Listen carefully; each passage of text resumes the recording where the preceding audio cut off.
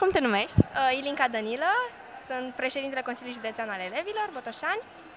Cu ce scop ați venit astăzi aici? Am venit ca să prezentăm elevilor și oamenilor din Botoșani uh, activitatea Consiliului Județean al Elevilor și cu ce ne ocupăm noi. Noi reprezentăm elevii la nivel național, județean.